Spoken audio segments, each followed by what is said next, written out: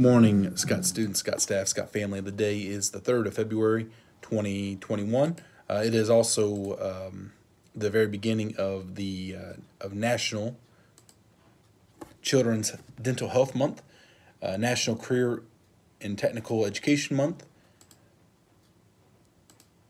and it's also uh, Black History Month.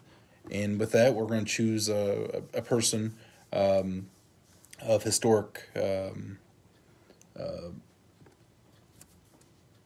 importance uh, to speak of every day. So, with that, uh, Charles Drew was an African American doctor and scientist uh, in the early 1900s. Uh, his work on blood storage and blood uh, blood banks helped to save thousands of lives during World War II. So we just had a month. The month of January was blood donor a month, and you know uh, Charles Drew was um, uh, kind of difficult to to see like how um, hospitals and how um, I guess uh, uh, we as a society would function without um, blood banks and also um, like blood storage um, techniques. So, um,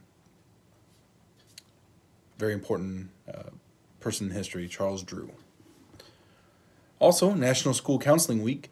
Uh, it is National School Counseling Week. Did you know that a part of school counselors' job is to make sure students feel safe in their school?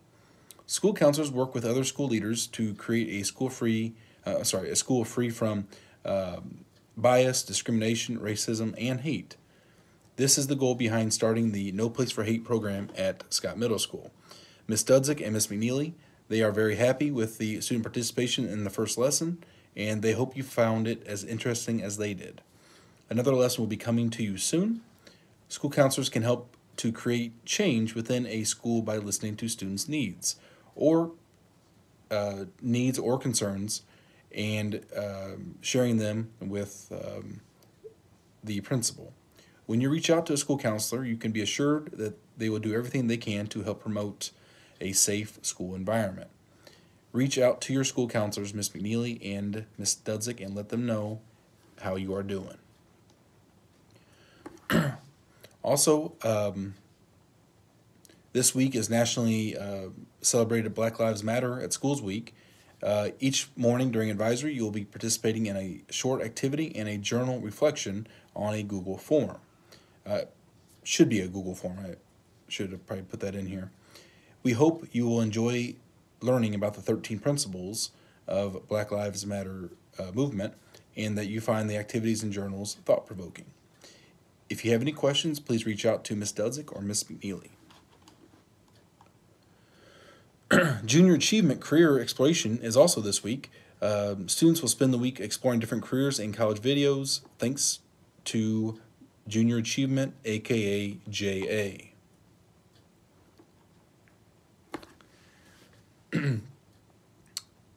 that appears to be all for your announcements. It looks like Wednesday, um, which is tonight, today, uh, there will be a girls' basketball game.